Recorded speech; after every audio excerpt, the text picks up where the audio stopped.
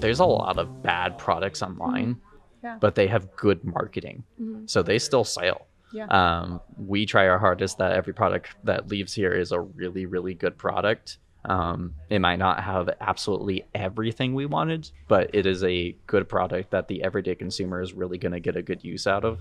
Um, so it's then meshing that market. Uh, if you you can you can have a bad product and have really good marketing, but if you have a good product and terrible marketing, you're really not going to get anywhere. Marketing is what sales. Um, and obviously, there's ways that you can kind of go around that. You can, um, some of our old clients, like now, they go to the beach on a daily basis and they go to football games and tailgate parties and all that kind of stuff. And they have a fantastic um, product that is selling like crazy right now.